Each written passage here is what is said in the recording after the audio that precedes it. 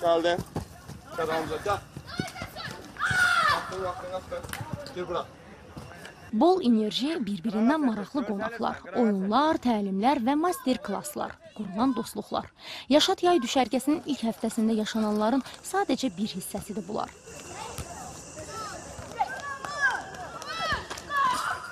Hər yaş qrupunun ayrı proqramı var. Çünki biri-birindən proqramlar fərqlənməlidir və biz bunu bu cür tərtib etmişik və düşünürük ki, e, uşaqlar burada olduğu müddətdə onların asudə vaxtı səmərəli keçməlidir, zəngin olmalıdır, həm əylənməlidirlər, həm öyrənməlidirlər. Və sizin tarixi bilgiləriniz də olacaq. Yaxşı?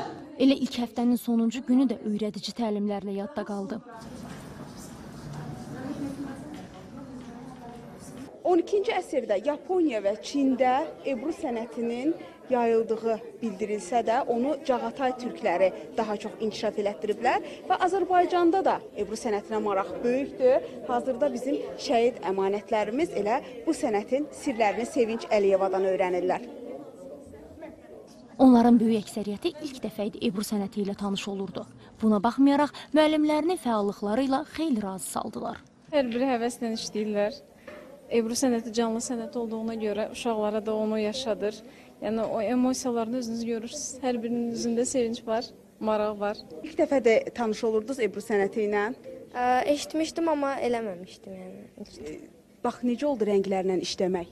Ə, məncə rənglər işləmək çox qəşəngdir. Belə naxışlar da atdıq və darağa oxşar bir şeylə üstündən getdik. Çox maraqlı bir şey.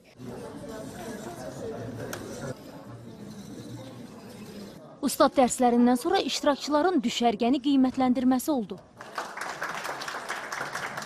Burada çox ə, əyləncəli keçir günlərimiz.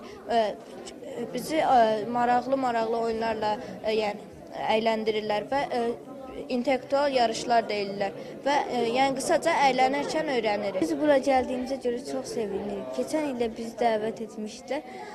Ondan da çox razıyıq. Bu düşərgədə ən çox mənim yadımda qalan ə, idman, idman, ə, idman idi. Bir də çox gözəl oyunlar vardı.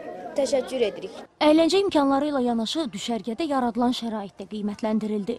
Yataq yerlərindən başlamış, qidalanmaya qədər hər şey yüksək səviyyədə təmin olunub. Əsasən də ə, diqqəti yetiririk sağlam qidaya, ekoloji təmiz qidalara. Hər bir çeşiddə, misal üçün ət, toyuq, balıq yeməkləri və burada meyvələrimiz, hər cür çeşiddə salatlarımız mövcuddur. Və istəyirik ki, bizim bu balalarımız xoşbəxt və gözəl bir təəssüratla ayrılsın bizim oteldən. Elə gözəl təəssüratlarla da yekunlaşdı ilk həftə. Şəhid əmanətlərinə hədiyyələr təqdim olundu.